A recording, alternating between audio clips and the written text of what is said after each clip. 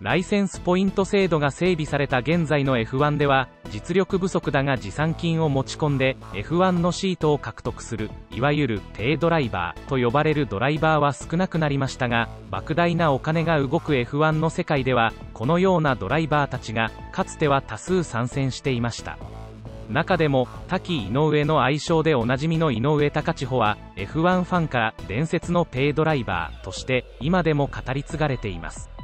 皆さんこんにちは。モーター天国のレインです。今回は国内外問わず、一部の F1 ファンの間で語り継がれる、元 F1 ドライバー、井上貴千穂のレースキャリアや、エピソードについて解説していきたいと思います。このチャンネルでは、F1 やモータースポーツに関する検証、解説動画を扱っていますので、よろしければチャンネル登録をしておいていただけると嬉しいです。本日はこのような内容を解説していきます。下位カテゴリで優勝ゼロ、表彰台ゼロの男。井上のレースデビューは22歳の時、富士フレッシュマンレース、ファミリアでのレースでした。現代では F1 ドライバーになるために10代の頃からカートやフォーミュラカーのレースに出るのが当たり前となっていますが80年代から90年代頃までは20歳前後でツーリングカーレースでレースキャリアをスタートさせ F1 まで上り詰めたドライバーも稀にいた時代でしたちなみにキャリアデビュー戦となったこのレースでの成績は悲惨だったと本人の著書には書かれています。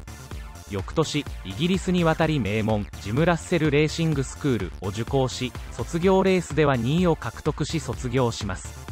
そのままイギリスにとどまり1987年から2年間フォーミュラフォード1600に参戦。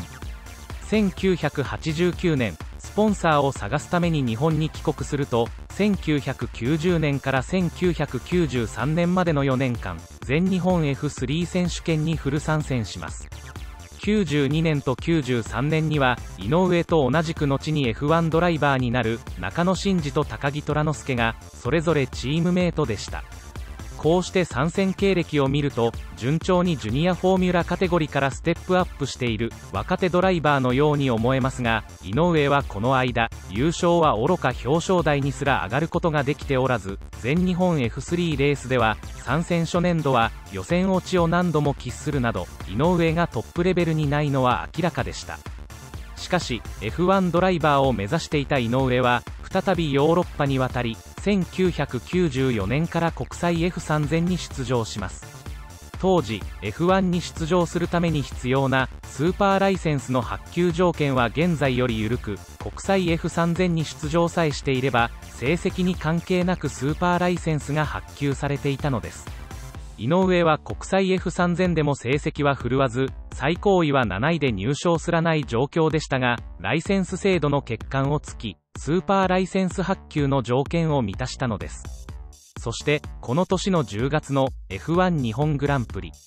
当時経営が苦しかったシムテックが代役ドライバーを探していたところ母国グランプリである井上がスポンサーを集めて資金を持ち込みスーパーライセンスも問題なく発給されたことでなんと下位カテゴリで優勝はおろか。表彰台にすら上がったことがない。31歳の井上が F1 にデビューしたのです。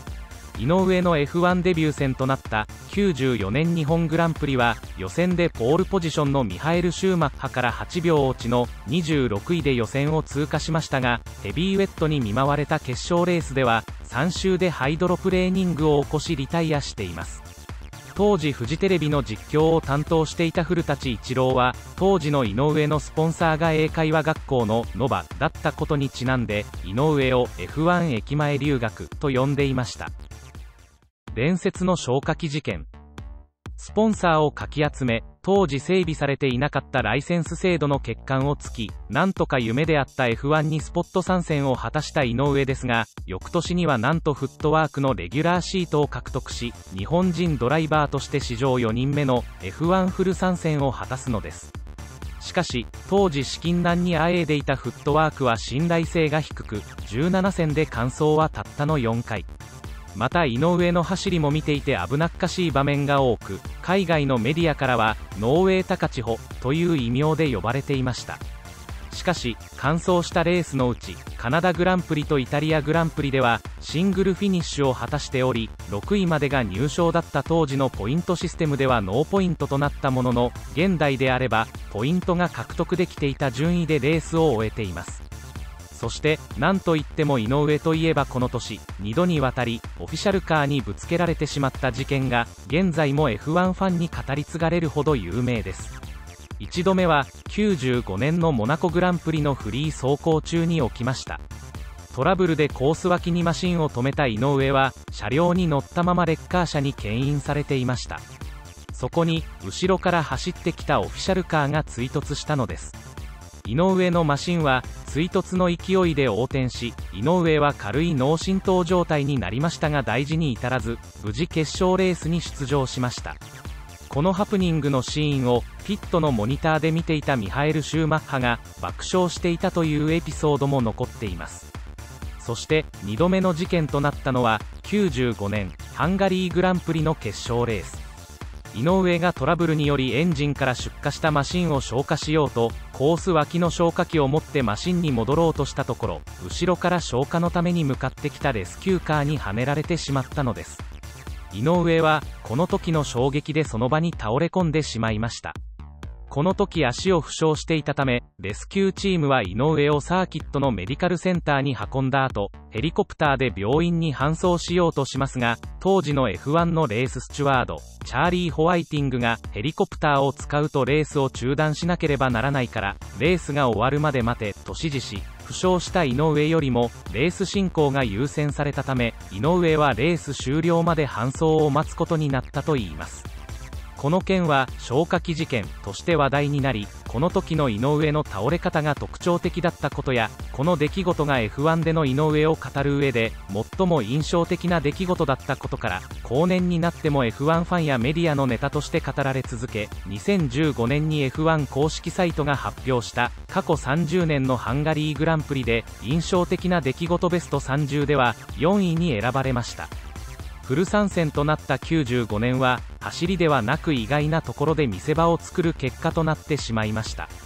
翌1996年はフットワークから残留要請を受けますが交渉がまとまったミナルディと契約することになり移籍が決まりました。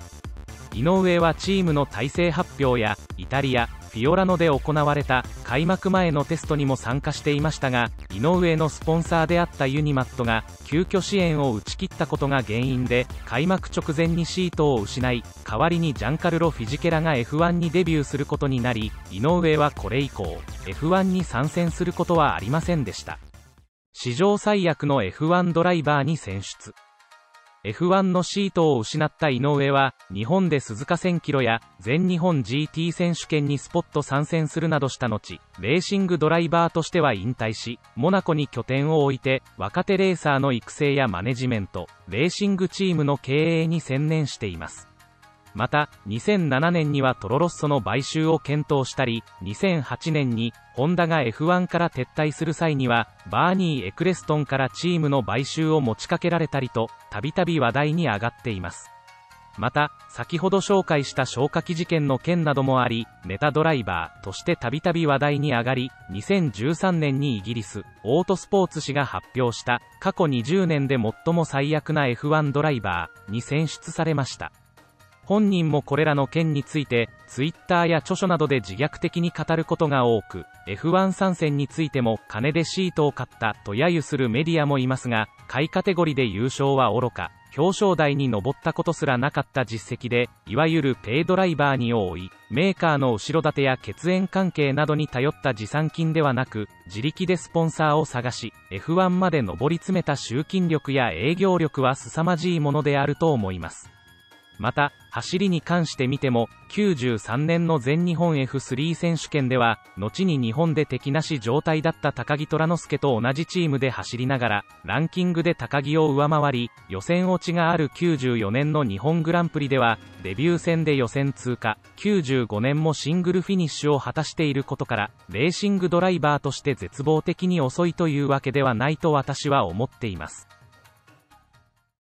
いかがだったでしょうか？今回は消火器事件でおなじみの井上隆千穂のレースキャリアについて解説しました。このチャンネルでは F1 やモータースポーツに関する検証解説動画を扱っていますのでよろしければチャンネル登録をしておいていただけると嬉しいです。それでは今日はこの辺で。